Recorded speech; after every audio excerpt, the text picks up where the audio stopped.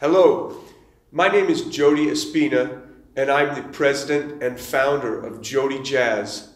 I'm very proud to be here with Shimro and uh, talk to our customers in Korea. I have visited the Nagwon market and many stores in Korea, and I'm so happy that Jody Jazz has become a very popular mouthpiece in Korea. Thank you for playing Jody Jazz.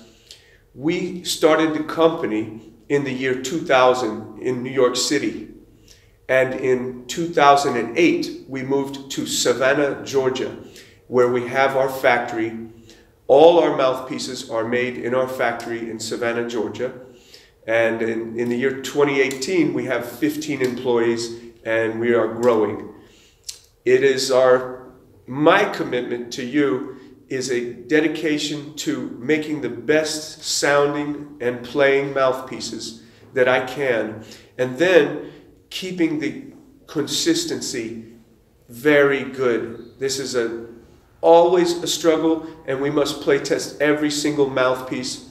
We have many models, and I encourage you to come to your favorite music store and try them.